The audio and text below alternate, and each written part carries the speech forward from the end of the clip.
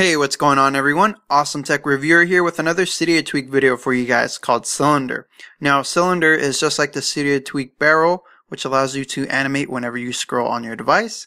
But Cylinder allows you to get those animations and combine them to create your own unique animation, as you guys can see right there.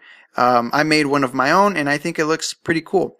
Now I'm going to go ahead and go into settings and show you what comes with Cylinder. Now you go ahead and enable the tweak go into effects just like in Barrel and scroll from the different animations that you guys could go ahead and choose from. I've chosen three to combine called alternate spin, flip icons, and page flip like you guys saw earlier in the video that I was demonstrating. You could go ahead and save the animations that you've chosen by going into formula.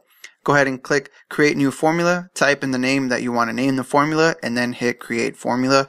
And it'll save it so that way you could come back and choose it again.